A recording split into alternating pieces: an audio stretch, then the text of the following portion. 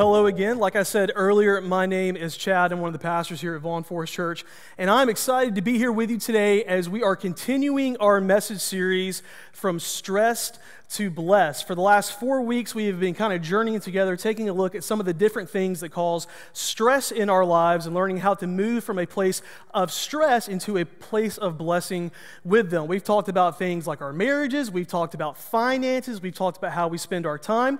And if you have missed any of those messages, I would highly encourage you head over to vaughnforest.com, head to our YouTube channel all those previous sermons are posted there, and uh, I really think there is some great practical teaching in this series that can really uh, help you out in your everyday life. And so, if you missed any of those, make sure you go get caught up. And we've said that our big idea for this series is that moving from stress to blessed has more to do with the internal condition of my heart than the external condition of my circumstances. So, what does that mean? Well, simply this that there's always going to be things in our lives that are seeking to cause us stress. We just named a few a moment ago, and there's tons more, right? There's all kinds of things that bring stress into our lives. But that our reaction to that stress, the amount of stress we feel in our lives, is directly related to how much we are applying God's word to our life and the condition of our heart. So we can move from a place of stress with these things to a place of blessing when we apply God's word to our lives and when we make sure that our heart is in the right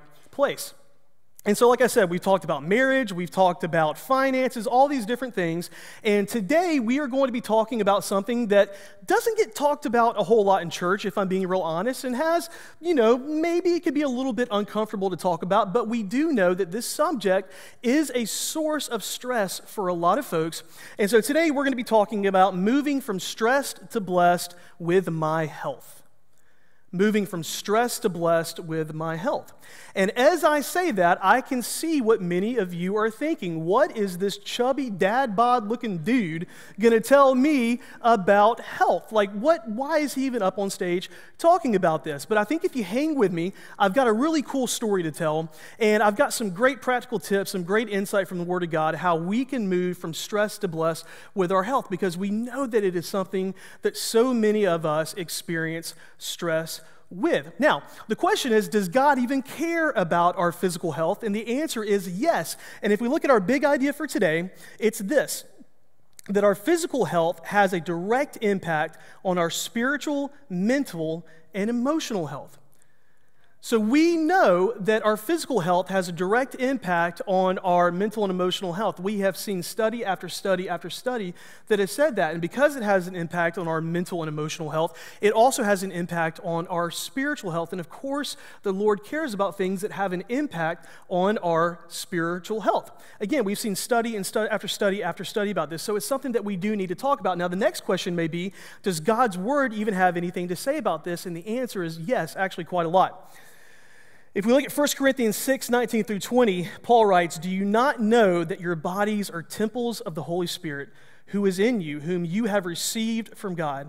You are not your own, you were bought at a price. Therefore, honor God with your bodies. The, script, the scripture is literally saying that our bodies are the dwelling place of the Holy Spirit. Jesus said that when he left, he was going to send the Holy Spirit, and the Holy Spirit dwells inside of us. And we want that dwelling place to be presentable. I think about What's it like? How many of you guys have ever been in this situation when uh, you've kind of let your home get a little bit cluttered?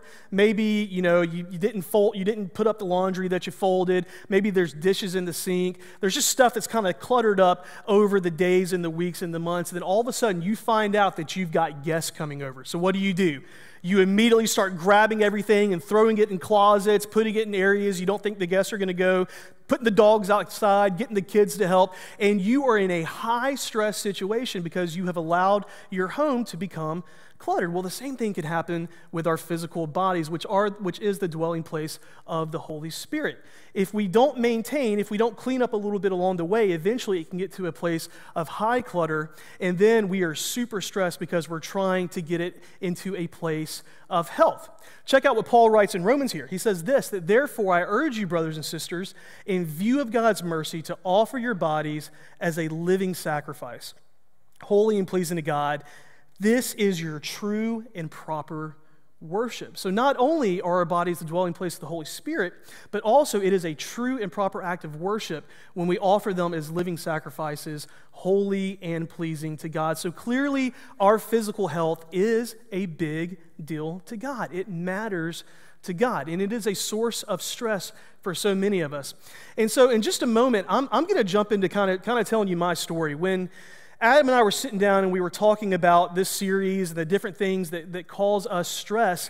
You know, we were looking at all these different subjects, and when we got to health, which we could not ignore because it does cause so much stress, Adam said, Hey, man, I think you need to get up and, and teach this message because you've got a real cool story and you've got a real interesting perspective on it. I said, you really think people don't, don't know about that? He said, Man, we've had so many new folks that have been coming recently. He said, I think there's a lot of folks that hopefully could be encouraged by it. And I said, Well, absolutely. I'd be honored to share that. So let me give a couple of caveats at the beginning of this. First off, uh, A, we're not talking about some like Adonis level of fitness where when I'm done with this message, you're going to walk out of this room and run a marathon and deadlift 500 pounds, okay? That's not what we're talking about. But we are talking about getting to a place of physical health that is honoring to God. The second caveat that I would give you is that do not think me standing on the stage telling you this story that I think that I've arrived okay? I know that I still have a long way to go, and I know that it is still a journey for me. So I'm not standing up here telling you guys, hey, look at me, all lights shine on me. That's not what I'm saying, but I am saying that over the last you know 12 to 14 months i have seen the lord work in an incredible way and i've experienced the power of the holy spirit in my life when it comes to my physical health so just real quick to kind of tell you my story uh, not this past August, but the one before that, so about 14 months ago, uh, I weighed 283 pounds. 283 pounds. I think I actually have a picture uh, of around that time. If we could throw that picture up. Yep, that was me. 283 pounds. This is me now. Yep, let's get that off. I don't want to look at it anymore. And uh, I, my wife was after me to go to the doctor to get a checkup. My wife's a nurse, and, and so she was like, You need to go and just get you know, an annual kind of checkup thing. And I said, I'm not, I'm not going to do that. Now, why didn't I want to go do that? Have you ever had a test that you didn't study for and you knew you weren't going to get a very good grade on it? It was kind of like that. I knew that if I went to the doctor and had a checkup, that the news that I was going to get was not really something that I wanted to hear. And so, you know, my thought process was, well, if I don't go and get that bad news, you know, then I can't hear the bad news and then everything will be fine, right? But that's not the way it was. And so my wife, she kept telling me, like, you need to go and get a checkup. I said, I'm not going. She said, You're going. I said, I'm not. She said, You're going. I said, I'm not. So I went. And, uh, and I remember standing on the scale. The reason I know that it was 283 pounds was as I stood on that scale and I saw that number go to 283 pounds, I couldn't believe it. You know, in my past, I had done some running, some biking, you know, was, was generally pretty fit. And uh, I had fallen into this hole when I looked at that scale going, what in the world? How did I get here? And it didn't happen overnight. It was a very slow process, but I had gotten there into this really, really deep hole. And so they ran all kinds of tests, you know, just the normal checkup stuff. And uh, I remember sitting down with my doctor at the end of this visit and him going over some of the, uh, the tests with me. And he's like, dude, he's like, obviously, you got to lose a lot of weight. He said, your cholesterol is way too high. He said, your blood sugar is insanely high. He said, right now, you are 12 times more likely to become diabetic than a regular person. And I'd had family members that I had seen deal with diabetes. I, I, knew what the effects of that were. Being a pastor, visited folks in the hospital who were dealing with that. And I just remember him telling me this and me going, My goodness, how did I get here? How did I get here? And so he put me on some medicine uh, to lower the cholesterol, to lower the blood sugar, and uh, sent me on my way. He said, I want to see you back here in about six months. He said, In that meantime, he said, You obviously know the changes you need to make. Here's some advice. Do these things, get on this medication. I didn't want to be on the medication because every time I took one of those pills, it was a reminder to me I felt like a failure. And so driving home, I'm sitting there and I'm, I'm thinking and I'm praying and I'm going, man, I just don't see a way out of this hole. And, but I know that I've got to do this. And I just said, Lord, I don't think I can do this on my own. And the Lord whispered to me, you're not going to have to do it on your own. And so I remember praying, like, God, give me the strength, show me the areas I need to change. I went to some friends to help encourage me along the way that I knew were praying for me. I made some small changes. It wasn't anything insane. Maybe I, getting up a few times a week to walk for 30 or 45 minutes, slow. Uh, some people go running. I go waddling. I waddle around my neighborhood. It's fantastic. I have a buddy that goes and waddles with me. And uh, just made some small changes, started eating a little bit healthier.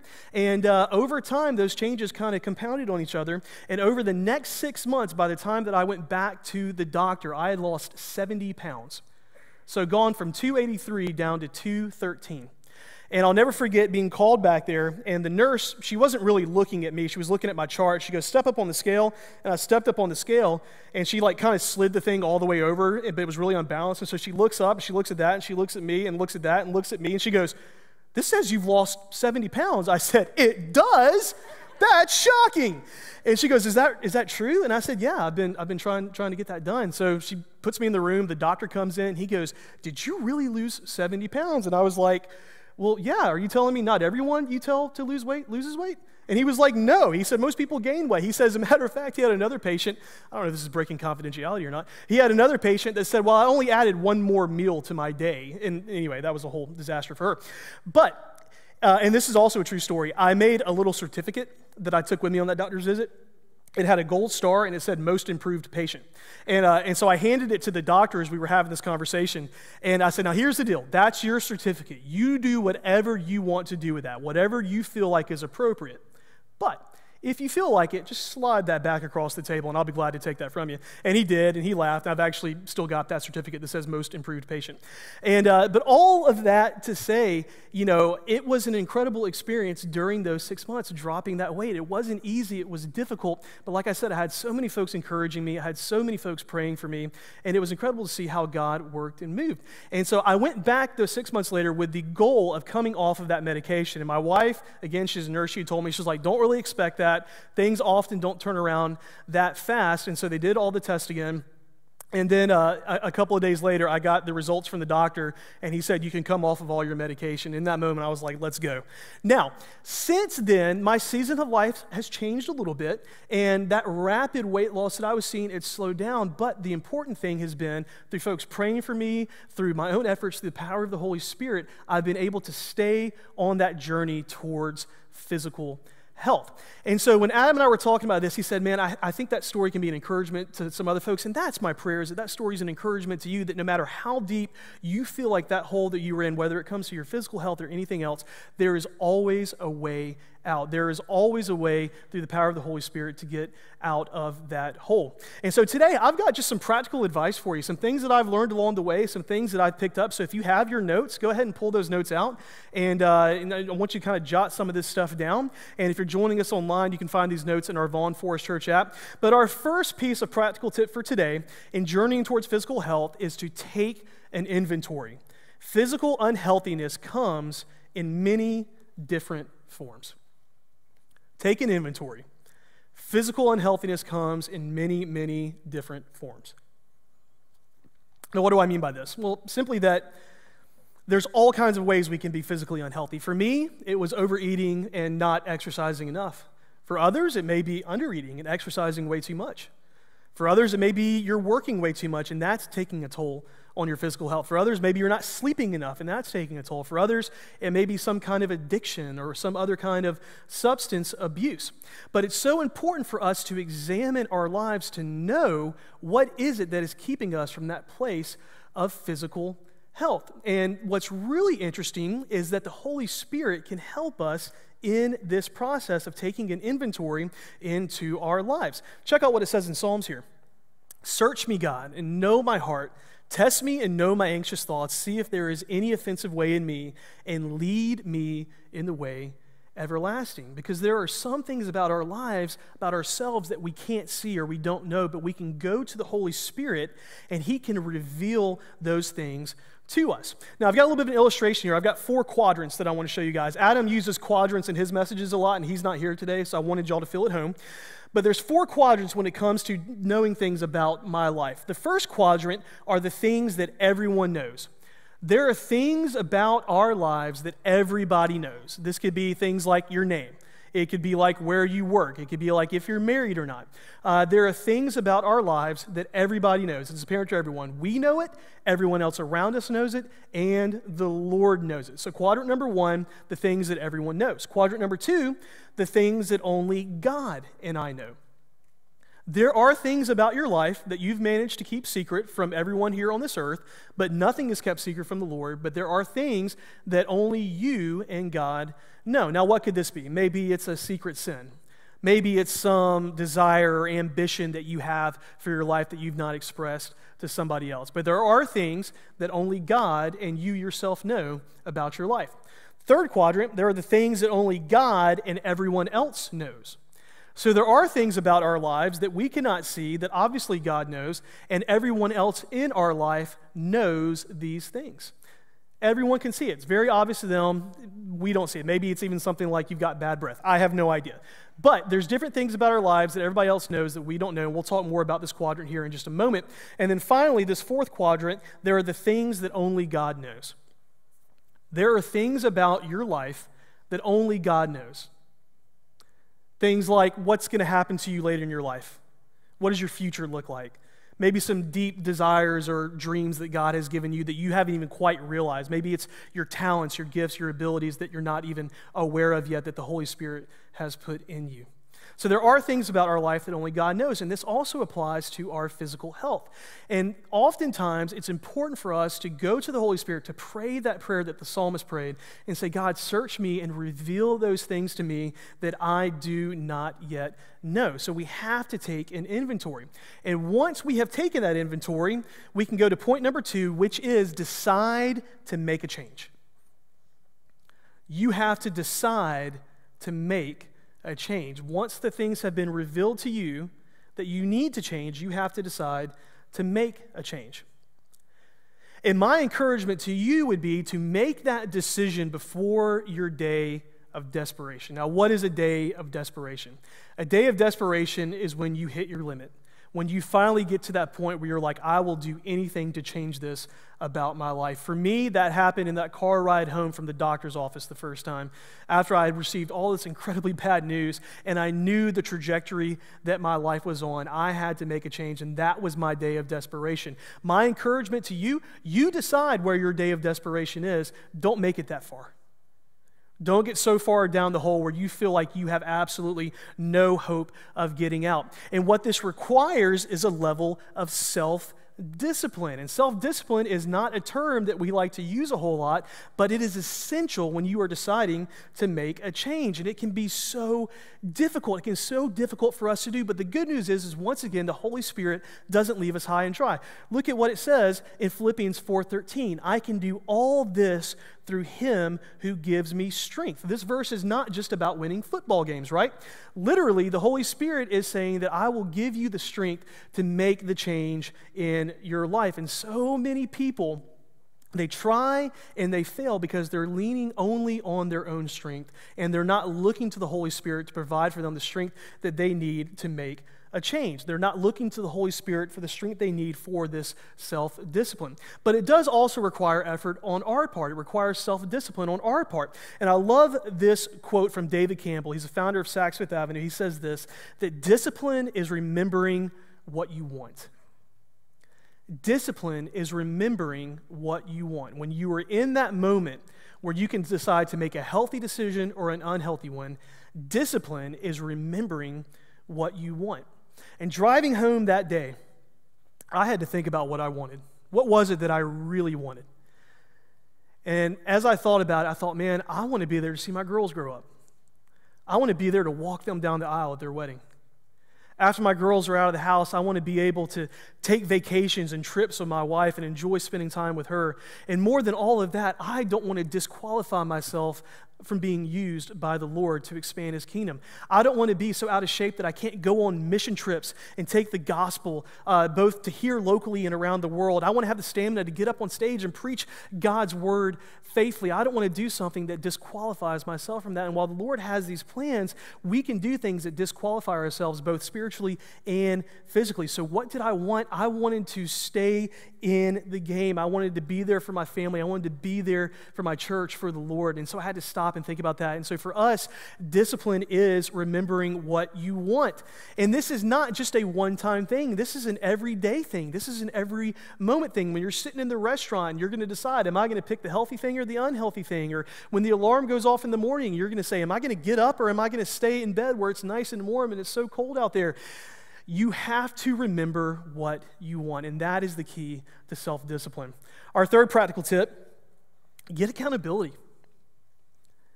Get accountability. And this one is huge. Having accountability is huge. And there's several different types of accountability. I'm going to talk about two of them. The first one is relational accountability.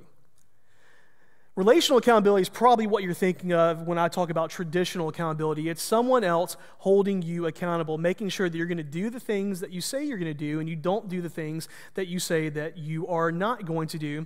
And God has given us one another to live in community with one another so that we can have, in part, this relational accountability. And God's word talks about this all over the place. In Proverbs 27 17, it says, As iron sharpens iron, so one person sharpens another. 1 Thessalonians 5:17 Therefore encourage one another and build each other up just as in fact you are doing. Ecclesiastes 4:12 Though one may be overpowered two can defend themselves a cord of 3 strands is not quickly broken. God has given us one another to spur each other on towards health. Let's throw up that quadrant again and take a look at this third quadrant the things that only God and everyone else knows. There are things in our lives that we cannot see, and God has put other folks in our lives to help us identify those things and move towards a place of health, move towards being stressed with those things to a place of blessing. And every one of us in our lives, we need folks that we can trust more than ourselves. We need folks that we can trust more than ourselves. We need people that can come to us and tell us the truth and know that we are going to receive that and know that they love us and know that we're not going to bow up against them so that we can have that truth and again move from a place of unhealth to a place of health, a place of stress to a place of blessing. And if you are looking for that here at Vaughn Forest Church, we love getting folks connected. We love getting folks connected. Come find me after the service and we would love to help make that happen for you. But that relational accountability, it's so important. Again, I think about my, I have a buddy that I go waddling with uh, several mornings throughout the week, and literally we text each other, man, hey, you going to be there in the morning? Absolutely. All right, I'll see you there. And there are mornings that I would not get out of bed if I didn't know that he was gonna, not going to be waiting out there for me. Knowing he's out there, I get up and I go and we go and get done what we need to get done. There's another kind of accountability that we'll talk about, and that's financial accountability. So you have relational accountability and financial accountability. Now, what is financial accountability? We've talked about several times in the series that where your treasure is, there also is your heart. And I would also say where you put your treasure, that is what you are going to invest in. And probably the best example I can get from this, I have another friend uh, who has a similar story to mine, not quite as deep in the hole as I was, uh, but he went to the doctor, and uh, the doctor said, Hey, you really need to join a gym and start working out and, and get more physically you know, healthy. And so uh, he goes to a gym, he joins it, and he finds a personal trainer. And the personal trainer says, Well, it's basically a 12 week you know, commitment, but you only have to pay for the first two weeks here up front. And my friend said, No, I'm going to go ahead and pay for all 12. And, and the trainer said, Well, why would you do that? He said, Well, if I only pay for two weeks, I'm only going to show up for two weeks and then I'm going to ghost you for the rest of it. He said, But I know that if I pay for all 12 weeks right now, that I will be financially committed and I will have that accountability and I'm going to show up.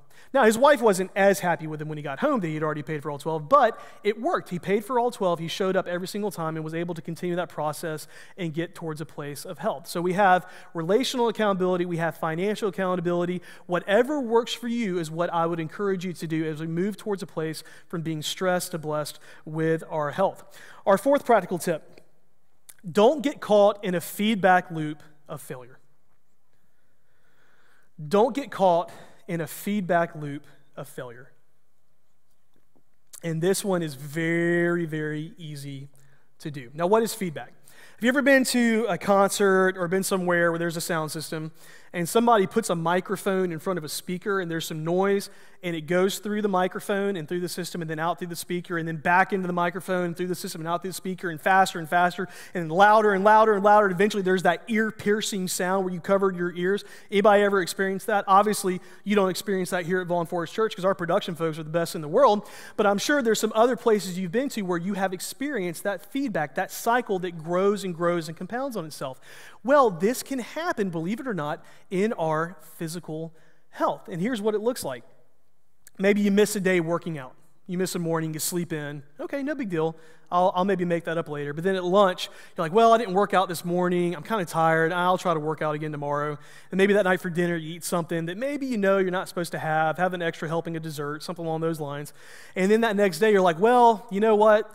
That was yesterday, but honestly, the week's kind of already shot. I'll pick this up again maybe, you know, after the weekend and get back to it. And then the next week shows up, and you know what? You've already kind of done that for so many days. Eh, it's fine. I'll just kind of keep doing whatever I want. And eventually, you get caught in this feedback loop where it compounds on itself and it leads to a place of incredible unhealth. The moments turn into a day, the day turns into days, turns into weeks, turns into months. We see this annually. You guys ever hear of anyone trying to make a New Year's resolution? Oftentimes, what that is, is someone trying to break that feedback loop of failure. And what happens? They make that resolution. You go to the gyms in the month of January, they're really, really full. You can't find a treadmill anywhere. But don't worry, come back in February, and I promise that many of those folks are back in that feedback loop. And it is so easy for us to get in that feedback loop of failure. But the good news is, is that again, the Holy Spirit provides help and a way out of that. And God's word gives us promises with this. Check out what it says here in Lamentations 3 22 through 23. Because of the Lord's great love, we are not consumed. For his compassions never fail, they are new every morning. Great is your faithfulness. And what I would tell you right now, sitting in this room, watching online, wherever you may be, if you feel like you are in that hopeless situation, if you feel like you are caught in that feedback loop of failure, you have the ability right now to break it. You have the ability right now to make that decision to get out of that feedback loop of failure. And even the smallest decision can lead to an incredible course change for your life. Those decisions that I made after going to the doctor, it wasn't anything great. Like I said, I would go walking, I would try to you know, choose better options when it came to my health. And eventually, those little decisions compounded. Now, when I left the doctor's office, I wasn't heading in a completely new destination, but I was able to go in a new direction. And author and speaker Jim Rohn puts it this way You cannot change your destination overnight, but you can change your direction overnight.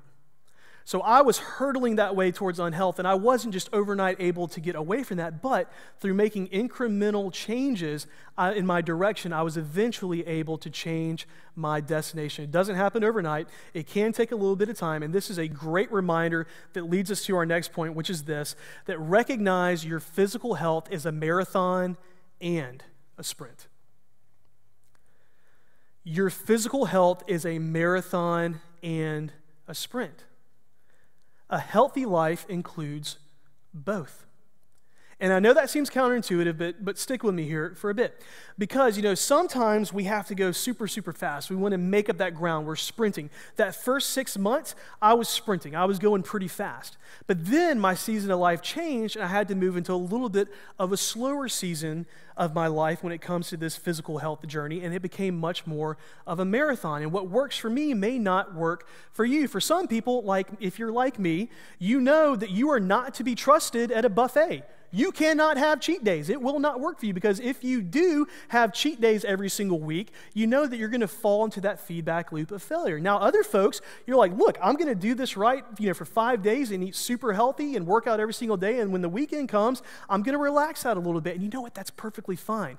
You have to do whatever it is that's going to work for you. But ultimately, this physical health journey requires both intentionality and perseverance. Let's check out what Paul writes in the book of Philippians 3 13 through 14. He says this Brothers and sisters, I do not consider myself yet to have taken hold of it, but one thing I do, forgetting what is behind and straining towards what is ahead, I press on toward the goal to win the prize for which God has called me heavenward in Christ Jesus. And I know what you're thinking. That's really easy to say, right? It's really easy to say standing up on that stage.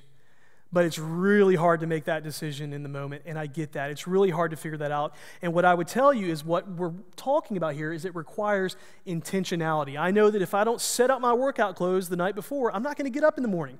I know that if I don't look at the menu of the restaurant I'm going to ahead of time and see what is going to be healthy for me, I'm going to pick the wrong thing. And ultimately, what I've discovered is that I have to work at a pace that is going to work for me. I have to find a pace that's going to work for me. You have to find a pace that is going to work for you and stick to that pace. Years ago, when I did do running, we would do 5Ks, 10Ks, half marathons, things like that. We would always set a goal for the race. So, say we wanted to do a half marathon in two hours.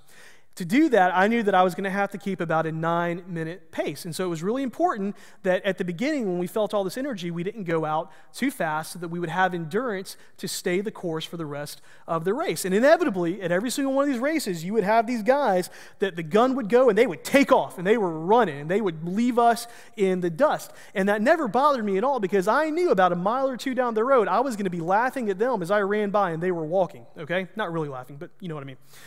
And ultimately, what I discovered was that it was those who set a realistic pace for themselves, those were the ones who finished the race. And that's our goal. Our goal is to finish this race of physical health because, again, it matters to the Lord. It matters. So you don't go too, don't do too much too fast. Set a realistic goal and stick to it. And this is going to bring us to our last uh, point for the day, which is make sure that your self discipline includes times of celebration. Make sure that your self discipline includes times of celebration. Now, I know this may sound a little bit contrary to what I just said, but it is so important that we do occasionally stop and we celebrate. Scripture talks about that there are different times and seasons in our lives. There are times of fasting, yeah, to be sure, but there are also times of feasting. Ecclesiastes puts it this way in chapter 3, verses 1 through 4. There's a time for everything and a season for every activity under the heavens, a time to be born and a time to die, a time to plant and a time to uproot a time to kill and a time to heal, a time to tear down and a time to build, a time to weep and a time to laugh, a time to mourn and a time to dance. It is important to know the season that we are in, and believe it or not, one of the most difficult things once you hit a healthy rhythm can be to relax that standard when appropriate and celebrate. We talked about this months ago when we talked about healthy rhythms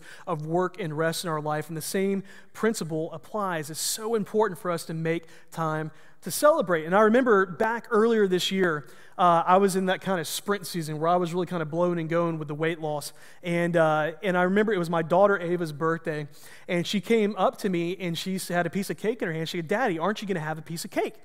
And my first thought was, no, I'm not going to have a piece of cake. Do you know the journey that I'm on? I'm not going to eat that. That's terrible for me. Absolutely, that would be the worst. And then I looked at her eyes, and my daughter just wanted her daddy to celebrate with her. She just wanted me to celebrate with her on her big day.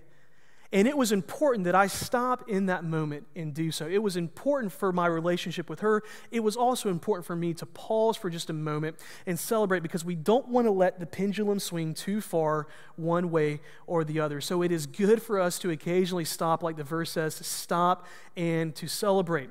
And ultimately, that is what physical a physical health journey is: is knowing the season you are in, setting the pace that you can stick to, having accountability, making that decision that you want to to honor God with your body. And so, here today, I would just ask you this question Where would you say that you are? Sitting in this room, watching online, where would you say that you are? are you saying, would you say that your physical health is in a place where it's having a positive impact on your spiritual health, your relationship with the Lord? Would you say that it's having a negative impact? Would you say that you feel absolutely just stuck in that hole and hopeless? The band's going to come and, and lead us in a time of response here in just a moment. We're going to sing the song Living Hope. And I can't think of a more appropriate song to sing because I know that feeling. I know that feeling that you feel caught in that feedback loop of failure. I know that feeling that you are stuck in that hole, that you feel hopeless. And what I would tell you today is that the Lord offers you hope. All you have to do is ask for it. All you have to do. You have to ask for help. Yes, it requires effort. Yes, it requires accountability, but ultimately it starts with us asking the Lord for help to give us that hope. Pray with me. Father, we just love you. And God, I thank you that there is no situation, no hole that we can find ourselves in that you don't offer hope, God. You always give us hope. And so, Father, I pray for those who are in this room, God, those who are watching online, whatever their situation may be.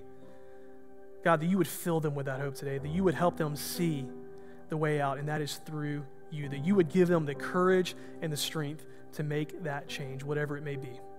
God, to move from a place of feeling so stressed to a place where they can feel blessed with their physical health and in turn feel closer to you. And it's in the name of Jesus we pray. Amen. During this response song, I would just encourage you.